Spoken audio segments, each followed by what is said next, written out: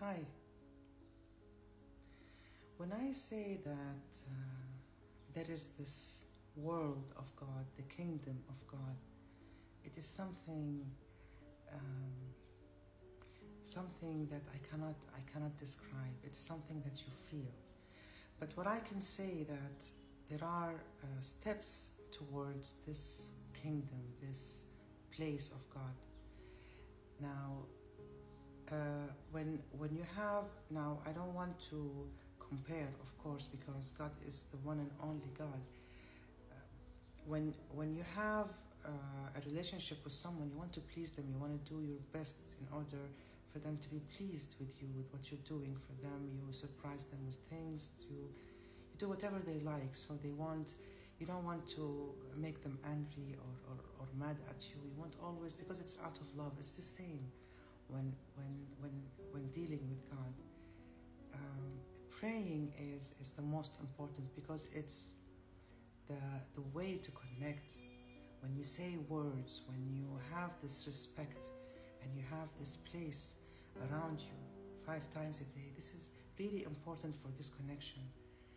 Now there are people who don't pray and they sin sometimes. It doesn't mean that they don't have the connection, but if you want to strengthen it, you need to do things which will please God and at the same time whatever you're doing is is God is commanding you to do the good because it's good for you it's good for the vibrations. You need to clean the heart completely by meditating uh, the events the incidents and, and and correct them within you the feelings within you because whatever you have which is um, kept within your body this, these are all negative vibrations. They hurt you. They hurt your body your soul your way of thinking and the things of course coming to you. You you're attracting the wrong things. And connecting with god is is is all about peace.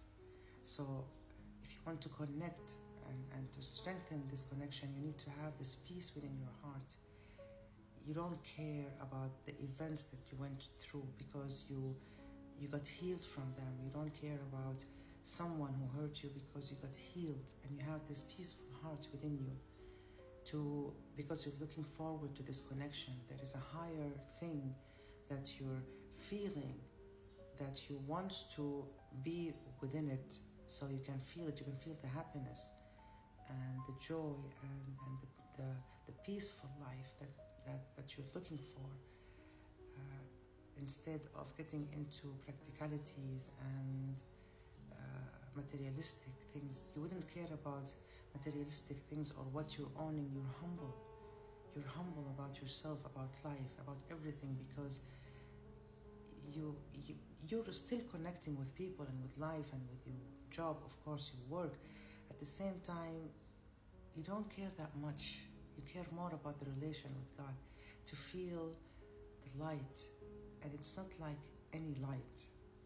Uh, it's, uh, it's, it's by fasting, because fasting um, makes you more humble in life and it changes all the vibrations, it, it cleans everything. It's like when you go through a very horrible incident, which will um, sharpen your feelings and and clean the soul completely but in a good way you know.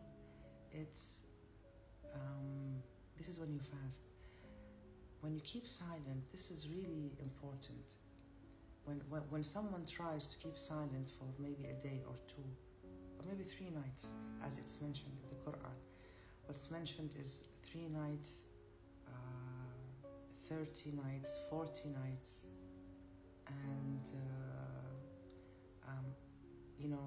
all the all the argument or all the questions all the discussions they will be within you with god. God will lead you to the path. You will feel this message these messages coming to you because you're transparent. You're very sensitive to to such things to feel everything around you in a good way.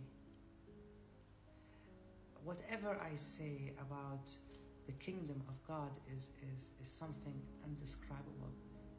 Um, but these are the steps that you can do. You can always do the good so you will get healed. Always always try to help people so you will your heart will be clean your vibration uh, uh, all will be clean all will be positive. You will attract uh, peaceful people peaceful uh, incidents uh, a peaceful life